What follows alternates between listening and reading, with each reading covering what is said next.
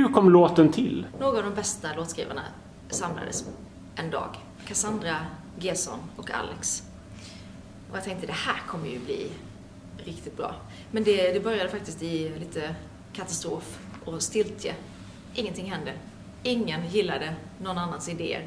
Så tänkte jag, nu har jag liksom wasted allas dag här och trott att vi ska göra något fantastiskt tillsammans. Sen var det lunchpaus. Eh, efter det så bara släppte allting och lossnade.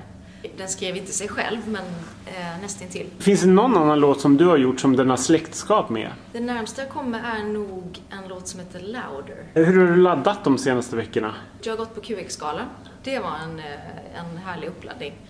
Med bara sån glädjedos. Och vad har jag mer gjort? Övat, övat, övat. Om du skulle ranka de tillfällen när du har varit med i Melodifestivalen senast beroende på hur kul du har haft.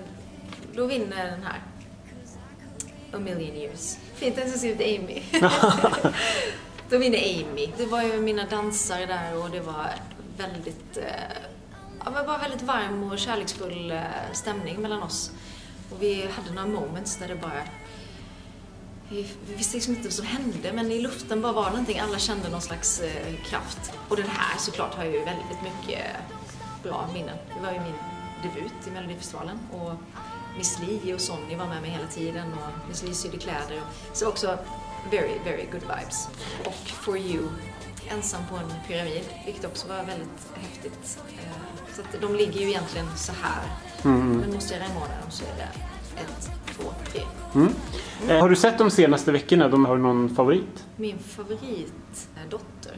Jag tyckte att det var otroligt snyggt och jag gillar låten och hon är fantastisk. Kommer du rösta på dig själv på lördag? Nej, galen. Det har jag aldrig gjort. Cross my heart. Varför ska vi skicka Mariette till Eurovision i år?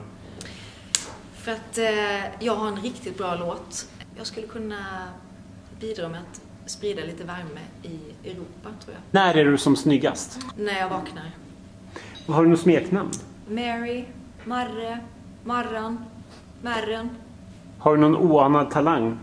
Jag kan ha sagt den förr, men det knyta, knyta en, eh, en knut på en körsbärsstjälk. Vad är den största eh, fördomen om Mariette? Att jag lyssnar på reggae, tror jag. När blev du starstruck? Äh, får vi säga Carola då, eftersom hon ligger nära i minnet. Har du blivit förväxlad med någon annan svensk kändis? Ja, Moa Lignell. Hej, hej. Blir du Marie 1 på lördag? ja!